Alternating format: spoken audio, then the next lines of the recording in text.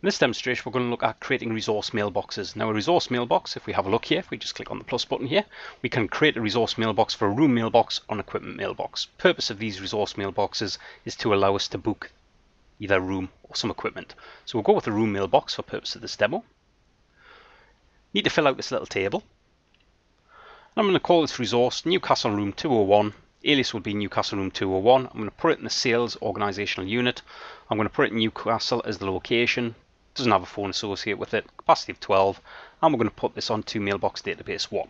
So we'll select our save button. That'll now go away and create the security principal as well as the mailbox.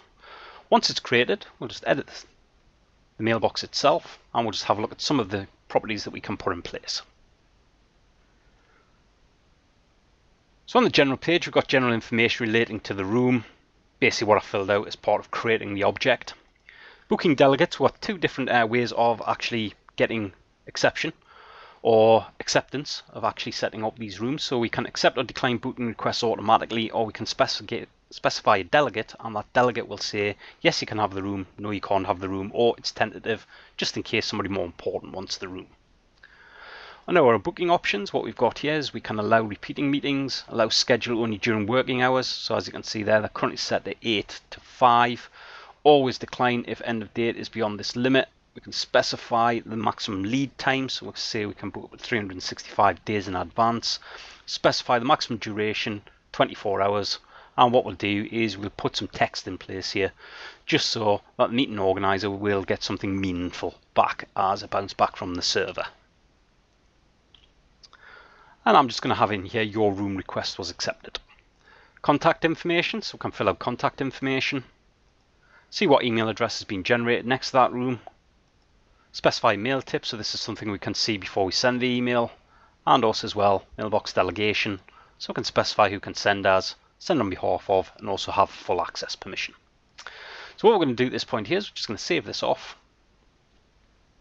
Now we have this up and running, the next thing to do is just test to see if it does work. So we set this to auto accept or auto reject. So what we'll do is we'll go to our client machine, on our client machine, I've logged in as a user called Alex. So what we're going to do on behalf of Alex is, Alex is now going to book a meeting. So Alex, click New. Within the calendar at this point here, fill out the details relating to the meeting. So we'll just call this one Sales Meeting. What we'll do is we'll add a room. And what we want to do here is add our Newcastle room, which is currently free. Schedule assistant is making sure that it's pulling down the information relating to has anybody already got this booked. We'll add some people in here, so we'll add in administrator.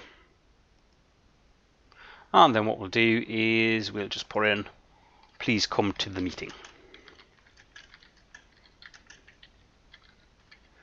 What we'll do is we'll specify that this meeting will start, um, yep, let's specify this is Friday. And then what we'll do is we'll specify this to actually start at, we'll make it 9 o'clock. So uh, we'll finish the meeting at, let's say, 10 o'clock. So then at this point here is we'll now just send the email request or the meeting request. So as you can see, it's popped up now in the list. What we'll do is we'll just come to mail. So what we've got at this point here, we can see Newcastle Room 201, sales meeting, your request was accepted. So meeting request was accepted. The other way we can set up meeting requests is we can set up delegates. So what we'll do is we'll go back to the server.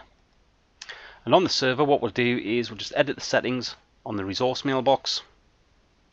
And what we're going to do here is we're going to modify the booking delegate.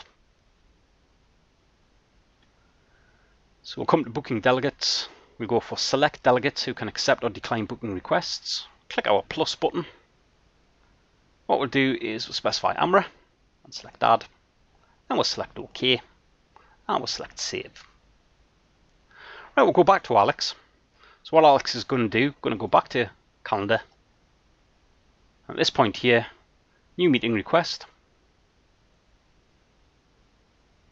What we're going to do, book that for today. going to book it from, let's book it from 4 o'clock through to 4.30. What we'll do here is we'll just call this end of day and then what we'll do is we'll add a location so again we'll add a location go for room 201 just put wrap up meeting And then what we'll do is we'll, again, just add our administrator user. And what we'll do is we'll send that meeting request. It's popped up. We'll go back to our mail.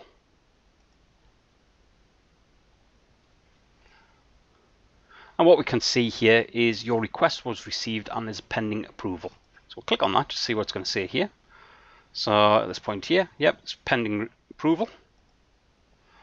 This one was accepted, so at this point here we'd have to wait for the approval to come through. So what we'll do at this point here is we'll just come across, we've logged in as Amra on this machine. We can see that Alex Darrow has requested end of day meeting. So we'll highlight that meeting request. And what we're going to do at this point here is we will accept this meeting request. And what we'll do is we'll just send the response now.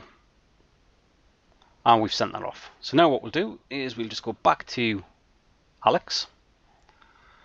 So what we've got here is we've got Alex at this point here. And what we can see now is Amra Zaki has now accepted this event. And that's the end of this demonstration of looking at resource mailboxes. Thank you.